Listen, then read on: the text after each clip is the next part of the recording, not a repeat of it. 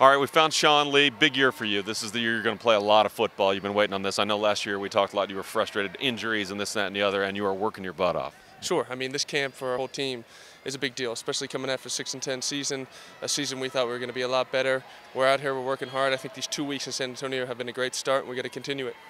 What do you do to shake off last year? The players always and the coaches always said, you know, when we went 11 games and we almost made it to the conference finals, we didn't get to carry that over. We don't carry this crap over either. On the other hand, it certainly eats at all of you. I know it does. Sure. I mean, the only thing you could do is learn from the mistakes we made and work hard every day. We know we can't take one day off. We know we can't rest on anything we've done in the past.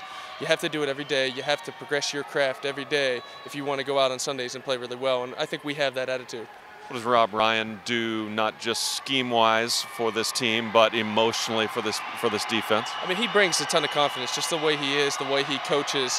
Uh, he's always getting us going. You get in a meeting, it's always fun, but it's all you're always able to learn. I mean, he makes it very easy to learn. It might seem complicated, but coming out of the meeting, he makes a lot of sense of it.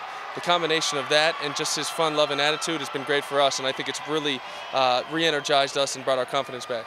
That's been my one worry is that in the last few years, uh, uh, commenting from some of the other players, there were times when you guys struggled when they would go to Coach Phillips and say, Can we simplify? Can we run more base? And then I hear Rob's coming in and it's going to be more complicated, more exotic, whatever the right word is. And I'm thinking, Is that a problem?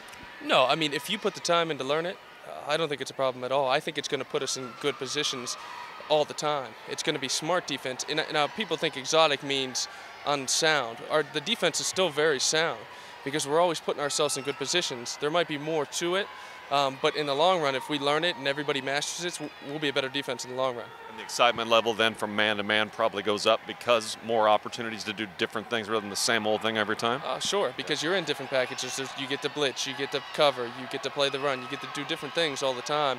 And as a linebacker, you love that. And, and our whole defense, it's very player friendly. You get to you get to play the way you, you learn the defense, but you can do your own thing within it, which I think is going to help us, especially if we learn it. This opportunity for you to learn from Keith Brooking and Bradie James, and I know Keith. One of the main reasons he wanted to be here was to help you. He told me last year, "Flat can play. I got to get him on the field." That was last year. I know he loves you. Oh well, I'll tell you what. I've said this a lot about Keith. Keith is the pinnacle of what I want to be as a football player. The guy is a Hall of Famer. He's an unbelievable player. Um, and for him to be as gracious as he has to me, I've been truly blessed. Bradie James has been the same thing. They're true professionals. They're great, hard-nosed football players. And for me, it's been an unbelievable uh, situation and an unbelievable chance to be able to play with them. Get the feeling with some of the veterans that they're sort of getting that point in career where there's nothing else left to do but the one thing they all want to do. We had that with the Mavericks here. An older, more veteran Mavericks team kept saying, nothing else matters. We got one more thing to do. One. I mean, any even the older guys want to win the Super Bowl. We want to win a Super Bowl because you know it's extremely hard. This league is so tough. There's so many good teams. You gotta you gotta work hard every day to get there. And when you have a chance, you gotta try to do it. And that's what we're gonna work. We're working on every day. We're not thinking about Super Bowl. We're thinking about every day practicing hard to get better. And but uh, in the end, that's our goal.